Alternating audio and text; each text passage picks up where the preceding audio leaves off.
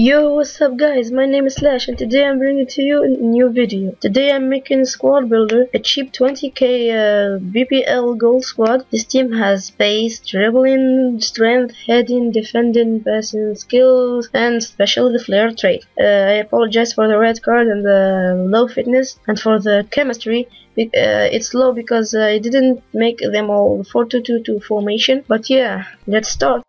In the goalkeeper, we have Ospina. He has got uh, some good stats. 80 plus in diving and reflexes is so decent. He's cheap. He goes for 600 coins, I think so. And he plays for Arsenal. In the left back and right back position, we have Kolarov and Rafael. Pretty good players. Rafael with 83 pace and 76 defending with uh, uh 77 physical uh, and the flair trait. He goes for 3k and I think honestly it's a good price for a player like him. Uh, but Kolarov don't look like a great player because of his pace, but he is actually brilliant, especially with the 70 shooting and the good physical and defending. If he had better pace, he would have been 2 to 3k, but currently he goes for 1k. In the central back position, we have Mertesacker and Onuoha, not similar players at all. Onuoha with 83 pace and 75 defending with 77 physical, but be careful, he is shit at heading. He goes for 1.2k. Mertesacker 34 pace and 76 physical, but because of his uh, 87 defending and decent hitting, he goes for a fair 2.5k coins.